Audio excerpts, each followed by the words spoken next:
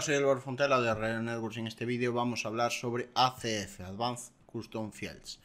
Eh, se trata de un plugin para WordPress, pero lo que realmente vamos a hablar es de la gestión y creación de custom fields mediante una interfaz gráfica. En otros vídeos que te dejo en la descripción hemos hablado sobre CPTUI, que es un plugin gratuito que nos permite eh, gestionar eh, y crear, evidentemente, y también borrar custom posts y custom taxonomies. Esto no son nada si no le añadimos contenido. Y para esto están los custom fields que podemos crear con ACF. Existen alternativas a ACF. ACF también tiene una versión gratuita y una de pago. Yo siempre uso la de pago porque tiene algunos campos adicionales y además también nos permite gestionar mucho mejor las cosas. Eh, tiene algunas, digamos, barreras la versión gratuita, aunque tampoco es un problema eso, ¿vale? Entonces, Vamos con el, con el tema. Eh, simplemente eh, aquí en, WordPress yo ya lo tengo instalado, tengo la versión Pro, ¿vale? ACF Pro. Y bueno, eso puede tener algunas diferencias, vamos a llamarle así, pero simplemente es a nivel campus. La interfaz es la misma y el funcionamiento es exactamente el mismo. Entonces, nos vamos aquí a plugins, ¿vale? Tenemos aquí ACF Pro en este caso y ACF gratuito lo podemos encontrar en el repositorio de WordPress, que como prueba nos sirve. Bueno, una vez instalado, nos aparece cualquiera de las dos versiones, nos aparece esto aquí, campos personalizados.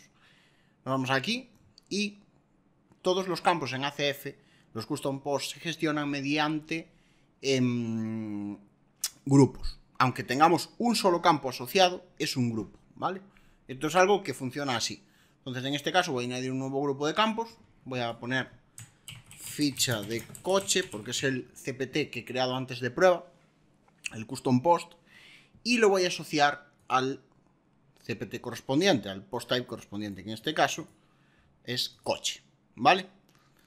Con esto lo asociamos a lo que nos dé la gana. Podemos incluso asociarlo a un custom taxonomy, ¿vale?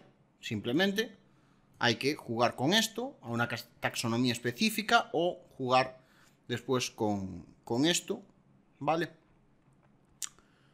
¿Dónde está? Tipo de página, lo que sea. Podemos ir filtrando con esto. No es difícil, eh, pero bueno, hay que, digamos, voy a llamarle, echarle muchas veces imaginación a cómo asociarlo para que todo funcione correctamente, ¿vale?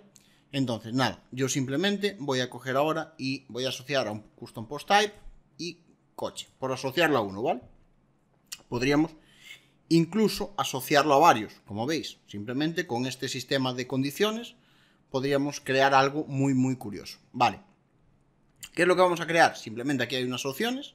Activo, podemos asociarlo a distintos tipos de metabox. Metabox es, por, digamos, por decirlo eh, en un lenguaje eh, entendible. Es esto, ¿vale? lo que se nos abre aquí en el editor y cómo se nos abre, qué campos nos ofrece y todo esto. No es difícil. Y, eh, bueno, mm, aquí podemos seleccionar, yo siempre dejo el estándar. Posición, Dejamos así. Y bueno, aquí podemos esconder algunas cosillas simplemente para el metabox, para que sea más limpio, si elegimos el estándar.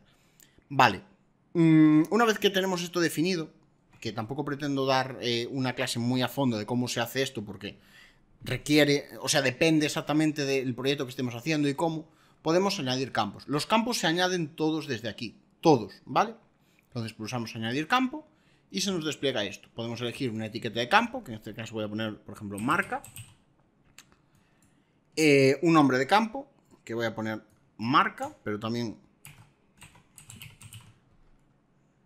Aquí lo voy a poner más grande, o sea, con mayúscula. Un tipo de campo, podemos elegir entre todos estos. ¿Vale? Podríamos incluso hacer listas, podríamos elegir cualquier campo. Y mediante plugins podemos añadir muchos más tipos de campo. La versión gratuita tiene menos campos que la versión Pro, vamos a llamarla así, que es la de pago, y eso pues también tiene algunas cosas en contra, porque hay campos que pueden resultar muy muy interesantes por el formato que piden, o sea, por el formato que, que tienen o por el, digamos, lo que nos permite hacer con ellos, ¿vale? Porque podríamos añadir plugins para realizar operaciones matemáticas con campos, para realizar distintos tipos de operaciones que pueden resultar bastante interesantes. Aquí simplemente pues voy a, poner uno, a ver si pongo, por ejemplo, elige y aquí me, añade un campo, como siempre. O sea, los campos funcionan más o menos por condicionales, en este caso elige, aquí puedo poner un listado de opciones, en este caso voy a poner Honda, Subaru, voy a poner tres como ejemplo, ¿vale? Out, Nissan, vale. Y un valor por defecto que no tenemos por qué ponerlo. Podemos permitir vacío, en este caso no, seleccionar múltiples valores, en este caso no, UI estilizada, que esto es solo visual, ¿vale? Podemos usar Ajax para esto, puede resultar interesante, le da un toque dinámico básicamente, y podemos especificar un retorno, etc, etc, etc. Incluso jugar con la lógica, ¿vale? Mostrar este campo solo si otros están rellenados, si otro campo está rellenado y tiene cierto valor, mostrarlo o no, podemos jugar con la lógica. Todo esto nos lo permite ACF. Incluso aquí algunas cosas de contenedor. Una vez que lo tenemos, podemos añadir otro campo, rellenarlo y así hasta que, bueno, hasta que llegue al límite. Vamos a llamarle eso, hasta todos los campos que necesitemos. Podemos crear una ficha completa con esto, y después simplemente pues publicarlo. Con esto ya estaría, ¿vale? Ya tendríamos nuestro campo eh, asociado a ese custom post, entonces nosotros si nos vamos aquí a, coches y añadir uno nuevo, no eliminé nada del metabox, entonces está todo, pero se me ha añadido este campo que yo he creado. Y esto se guardará, ¿vale? Esto se guardará, también está el campo vacío que se me ha creado porque no lo he borrado bien. Y esto se guardará. Con lo cual podemos crear una ficha, si eliminamos todo esto, dejando el título y tal, podemos crear algo muy, muy, muy curioso con los datos para el tipo de contenido que nosotros necesitamos.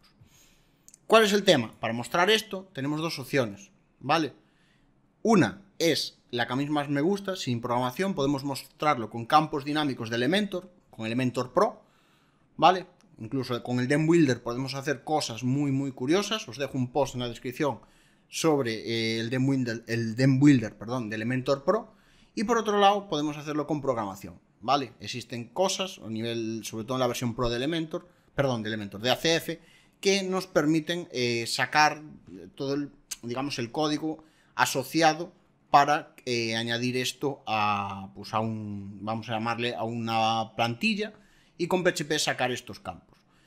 No hay mucho más, simplemente esto es fácil de, digamos, de, mm, de, trabajar con, él. No es muy difícil crear grupos de campos y darles forma, ¿vale? Lo único que debemos tener en cuenta que eh, aquí hay que combinar los custom fields, aunque podemos asociar custom fields, nada nos lo, digamos, nos lo prohíbe.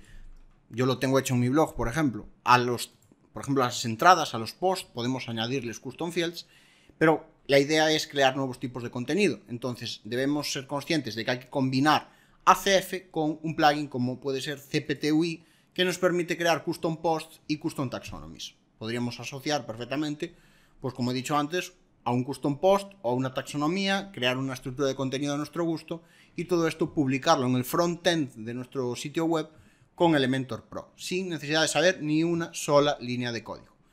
Nada más, simplemente si tienes alguna pregunta, déjamelo en los comentarios y también te dejo en los comentarios, perdón, en los comentarios, en la descripción, un post que he escrito en mi blog sobre todo este tema.